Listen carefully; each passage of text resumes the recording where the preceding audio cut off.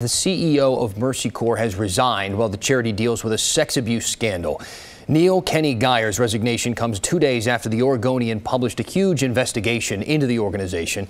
It surrounds Tania Culver Humphrey. She is the daughter of Mercy Corps co-founder Ellsworth Culver and says her father sexually abused her. She says Mercy Corps ignored her accusations for years. Experts on nonprofits say this kind of thing can damage an organization for a long time.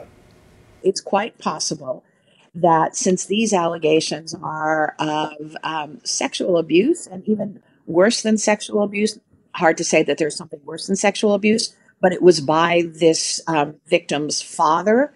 And there are indications that there was probably more than one victim.